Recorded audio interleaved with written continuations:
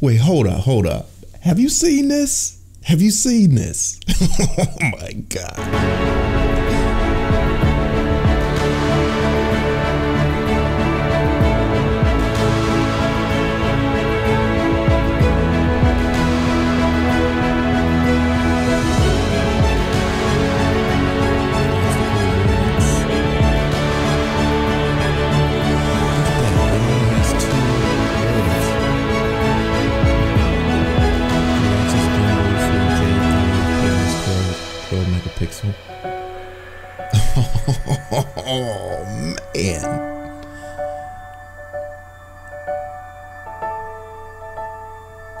Okay, I think that's it.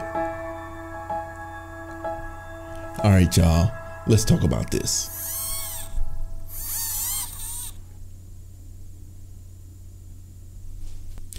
All right, we're going to get into looking at this thing, looking at the specs, and seeing what this V-Coptr Falcon is all about. But first, welcome to the Gadget Inspector channel where we're into all kinds of drones and all kinds of gadgets.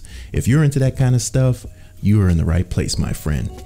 Please consider subscribing to the channel and don't forget to click that bell. That way you'll know when I upload new videos. all right, y'all, let's go ahead and take a look at what this thing is all about. So, uh, good brother that watches my channel sent me a link, uh, sent me an email with a link out here. This is Zero Zero Robotics.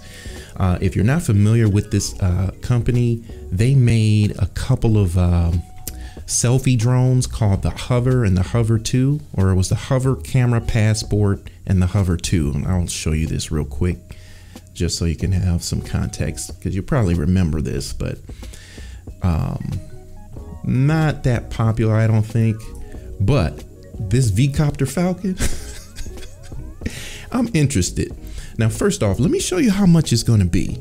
So right now they're taking pre-orders. $6.99 for pre-orders. $100 deposit. It's going to be $9.99 when it's released. So sounds like it's very similar to what we've seen with the Skydio 2, right? Okay, let's go back. oh, hang on. You probably want to see some of this, right? Look at this. So it has two rotors. It is foldable. See this? It folds down like the Mavic. There's the controller. And then looks like that's everything you get in the package. Okay. oh man. Okay. Now you're to trip off of this spec right here. Right here. 50 minutes of flight time.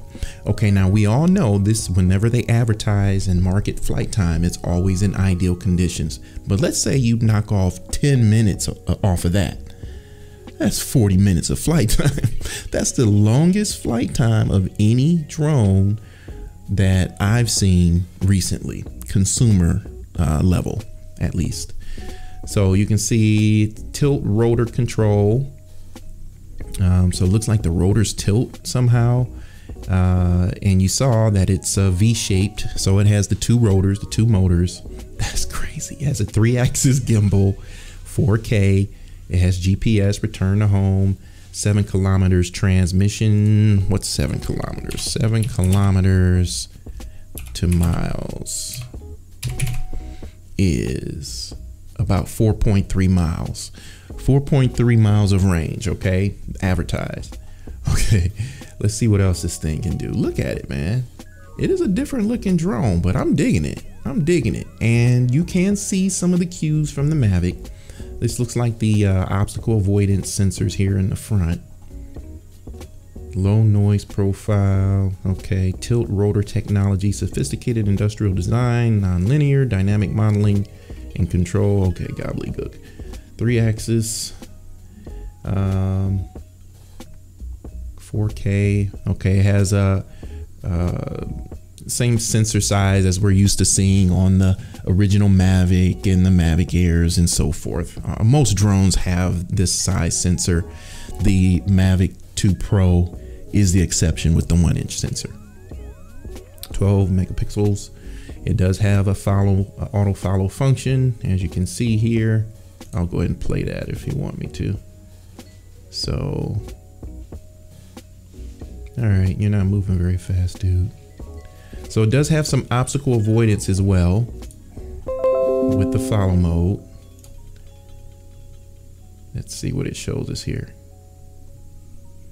Okay, nothing. It's kind of just like a graphic. Man, I'm I'm kind of geek for this one, man.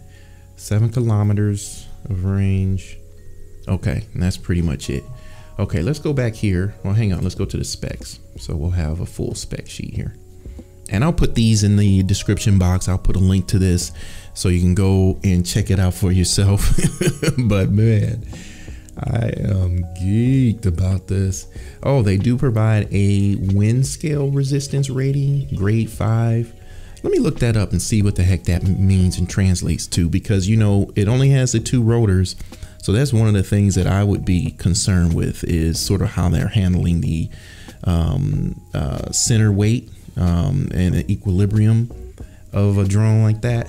Okay, so I can find much on what grade five wind resistance is. I kept coming up with uh, the classes of, of wind speed for hurricanes, and uh, those were pretty high. So I'm pretty sure that's not what this is alluding to.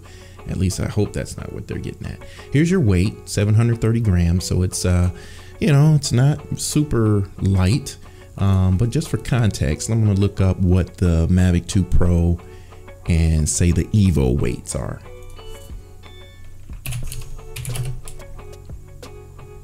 Okay, so the Mavic 2 Pro weighs 907 grams.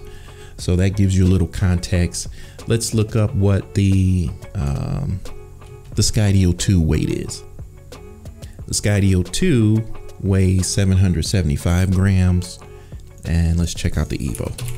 Okay, and the Autel Evo weighs 863 grams. So that gives us some context. It has 8 gigabytes of internal storage, similar to the Mavic 2 Pro, and it can take up to a 256 gigabyte external micro SD. It has GPS and GLONASS. Uh, what else? Those are the dimensions. Three axis gimbal. Uh, pitches 90 degrees. Uh, max obstacle avoidance speed is 7 meters per second, which is 7 meters per second, 2 miles per hour. That's about 15 miles per hour. Okay, there's your sensor size. We looked at that already. Looks like the field of view is about 77 degrees. And let's do a little bit of a comparison there. Uh,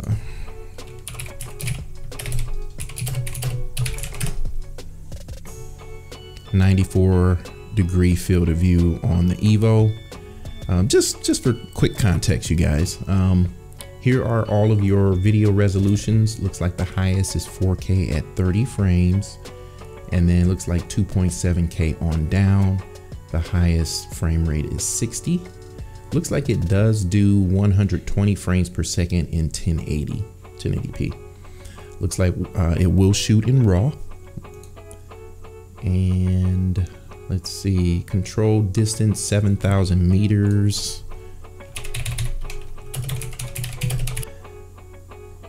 That's far, 22,000. That's about four miles, about the four miles that we uh, that we saw before in terms of this is control range. Um, and then the, uh, I wonder if that's what they're getting at. Yeah, not sure what the live video feed range would be, but control range looks like it's the four miles. Uh, battery time, I'm sure that's getting at how long it takes to charge it. There's a capacity, 4,500 uh, milliamp hour. Wow, how are they doing this with that size battery? 50 minutes that they're advertising, and at that weight. Wow, I got to see more the battery itself weighs 390, uh, 329 grams. Okay, so figure the drone itself is about half of that, right? A little over. Well, what's that? Four? Yeah, about 400. About 400 grams the drone itself weighs. Wow. Okay, that's everything that we can see there. Let me see if I can get you more photos. But there's the photo of the drone right there. Okay, so final thoughts from me are I am intrigued. Like really, really intrigued. I was intrigued by the Skydio 2. I was intrigued by the Mavic Mini to a much lesser extent. But this, this is different. this is unique. Um, this is something that I think all of us maybe we didn't know it, but we're looking for something different, right? The the industry, the releases have begun to get stale. DJI is the leader, right? And what they do, everyone essentially copies or does some type of variation on it. And this too is a variation on the foldable drone, right? But this is the first I've seen with two motors only. That's interesting. So I think I might be placing an order for this one, you guys. What do you think? What do you think? You think I should order it?